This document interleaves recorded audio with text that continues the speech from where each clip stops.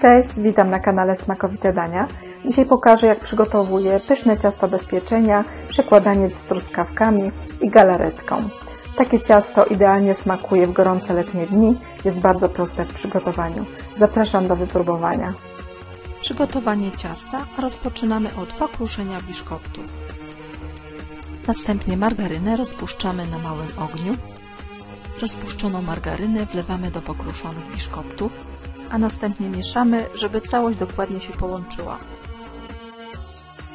Na wyłożoną papierem do pieczenia formę wysypujemy wilgotne biszkopty. Sprowadzamy po formie, ugniatając dłońmi. Formę odstawiamy do lodówki. Opłukane i obrane z szypułek truskawki przekładamy do rondelka, podlewamy niewielką ilością wody i dusimy. Do gorących truskawek wsypujemy cukier waniliowy i kisiel i cały czas dokładnie mieszamy. Chwilę gotujemy, aż kisiel zgęstnieje. Po czym masę odstawiamy do wystudzenia. Czasie, gdy masa truskawkowa stygnie, rozpuszczamy galaretki w połowie wody podanej na opakowaniu.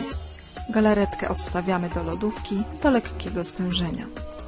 Na biszkoptowym spodzie wylewamy masę truskawkową i dokładnie rozprowadzamy. Na niej układamy biszkopty, a na biszkopty wylewamy tężejącą galaretkę. Ciasto wstawiamy do lodówki na 2 godziny. Po więcej przepisów zapraszam na stronę smakowitedania.blogspot.com